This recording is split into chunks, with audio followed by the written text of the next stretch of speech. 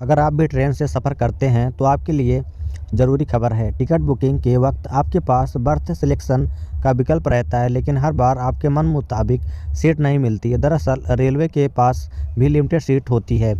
यात्रियों की सुविधा के लिए रेलवे ने बर्थ से जुड़े कड़े नियम बनाए हुए हैं। यात्रा के पहले आपको इन नियमों की जानकारी होना और उन्हें फॉलो करना दोनों ही ज़रूरी है। सफ़र के दौरान मिडिल बर्थ। सफ़र के दौरान अगर आपको मिडिल बर्थ मिलता है तो आपको कई बार दिक्कत होती है। दरअसल, लोअर बर्थ वाले मुसाफिर अक्सर देर रात तक बैठे रहते हैं। ऐसे में मिडिल बर्थ वाले यात्री को रेलवे के नियम ज़रूर पता होने चाहिए। मिडिल बर्थ को लेकर रेलवे के नियम अलग हैं। रेलवे के नियम बड़े काम के होते हैं। अगर आपको इनकी जानकारी है तो आपकी यात्रा आरामदायक रहेगी। इनकी जानकारी न होने पर आप धोखा खाते हैं।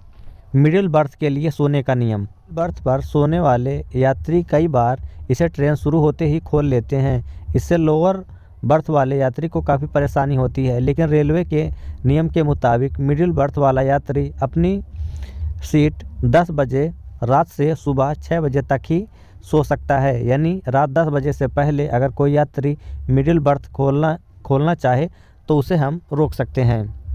वहीं सुबह छः बजे के बाद बर्थ को नीचे करना होगा ताकि दूसरे यात्री लोअर बर्थ पर बैठ सकें। कई बार लोअर बर्थ वाले देर रात तक जागते हैं और मिडिल बर्थ वाले को दिक्कत होती है। ऐसे में आप 10 बजे अपनी सीट नियम के तहत उठा सकते हैं। टीटीई नहीं करेगा ticket check. Indian railway ticket checking rules.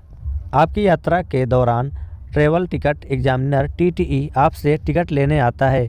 कई बार वह देर रात तक आकर आपको जगाता है और अपनी आईडी दिखाने को कहता है, लेकिन आपको बता दें, देर रात 10 बजे तक के बाद टीटीई भी आपको डिस्टर्ब नहीं कर सकता। टीटीई को सुबह छः से रात 10 बजे तक के बीच ही टिकट को वेरिफिकेशन करना ज़रूरी है। रात में सोने के बाद किसी भी पैसेंजर को डिस्टर्ब नहीं किया जा सकता। यह गाइडलाइन रेलवे बोर्ड की है। हालाँकि रात को 10 बजे के बाद यात्रा शुरू करने वाले यात्रियों पर यह नियम लागू नहीं होता। अगर यह वीडियो आपको पसंद आई हो तो इसी प्रकार के अन्य वीडियो को देखने के लिए चैनल को सब्सक्राइब ज़रूर करें। वीडियो देखने के लिए आप सभी का धन्यवाद।